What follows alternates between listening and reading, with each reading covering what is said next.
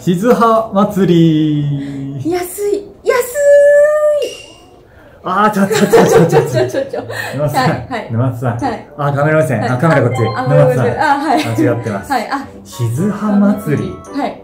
はい、今日そのことについてお話をしようかなっていうふうに思うんですけど、はい静葉祭りって、はい。うーん、何ですか？静葉祭り。はい。説明しましょう。静葉祭りとは、ネッツトヨタ静浜で年2回行われるイベントです。で、こちらは、お客様に日頃の感謝を込めて、静浜のスタッフ全員でお客様におもてなしをして、一緒に思い出を作るイベントとなっております。ああ、すごいですね。そうすると、じゃあこのイベントなので、お店でやる、はいイベントなんですか？あ、そうです。はいえっ、と、静葉祭りは全店で開催する予定となっております。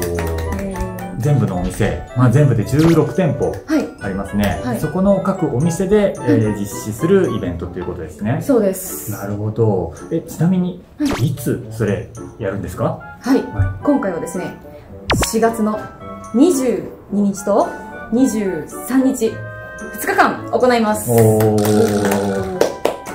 はい。はい、まあ実際に気になるのは、いろんなお店でいろんな企画があるっていうことになるんですよね。はい、そうすると、じゃあ具体的に言うと、はい、まあどこのお店でどんな風なイベントやるのかっていうのをはい気になりますよね。ははい。気になります。い。気になります 知りたいですか、はい。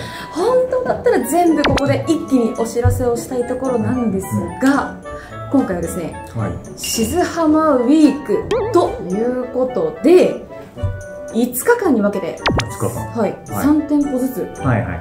小出しにして紹介をしていきたいと思いますので、はい。皆様、ぜひお楽しみにということで、これからじゃあはい一つ見ていただけるということで、他の動画も見てくださいっていうことですね。はい、そういうことです。なるほど。ぜひ見てください。はい。ああ、こういうことですね。はい。はい。はい。じゃあ、えっ、と、この後のまた動画もお楽しみにということで、最後は決め台詞、はい。えー、静葉祭りのキーワードで、締めたいと思います。はい。いきますよ。はい。せーの。春だ祭りだ静浜だ静静葉祭り